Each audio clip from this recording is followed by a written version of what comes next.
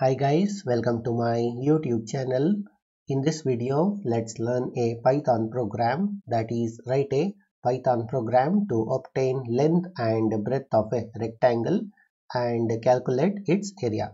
So given two floating point values as input to the Python program that is length and breadth of a rectangle.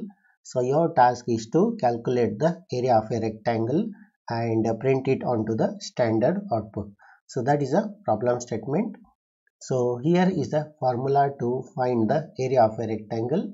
So area of a rectangle is given by the product of length multiplied by breadth. So let's use this formula to find the rectangle that is area of a rectangle and print it onto the standard output.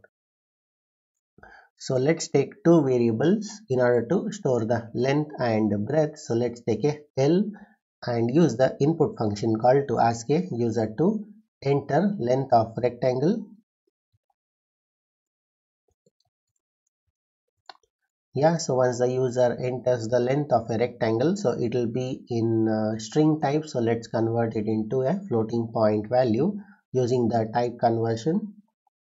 So once we get the length so let's take a breadth that is b and again use the input function call to ask a user to enter breadth of the rectangle.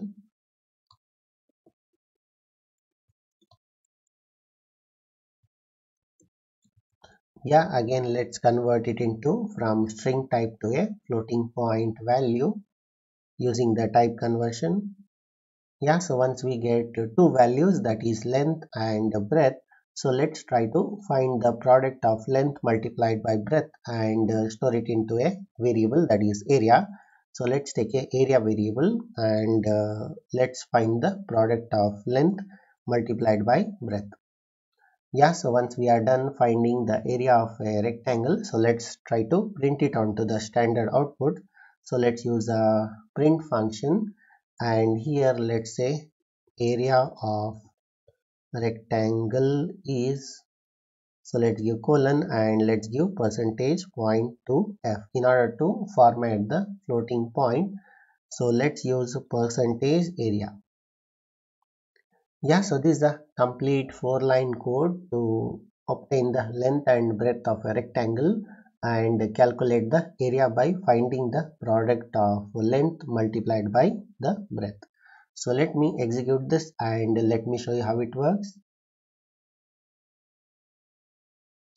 So yeah enter length of a rectangle let's say 12.456 and the breadth of a rectangle is uh, let's give 3.997 enter. So you can see area of a rectangle is 49.82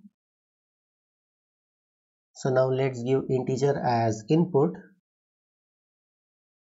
So enter the length. So let's give uh, 25 and breadth of a rectangle as 4 so you can see area of a rectangle is 100 yeah so this is a complete python program to obtain the length and breadth of a rectangle and find the or calculate the area of a rectangle. So i'll give this code in the description of this video so that's it in this video. Hope you liked it. Thank you for watching. Bye